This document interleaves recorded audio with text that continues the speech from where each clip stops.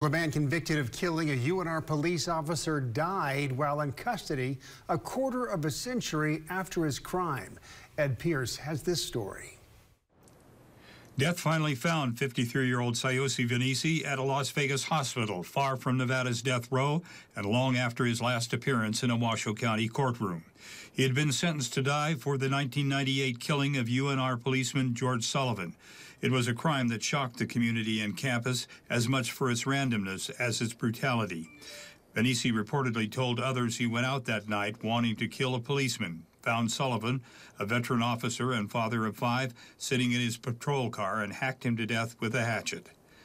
He was located at a relative's home in Salt Lake City two days later, and after a standoff was taken into custody. Reportedly determined to pursue every possible appeal, Vanisi avoided the death chamber for more than two decades. Citing policy, the Nevada Department of Corrections declined to reveal a cause of death, but said he had been undergoing medical treatment at the hospital. Ed Pierce, KOLO 8 News Now.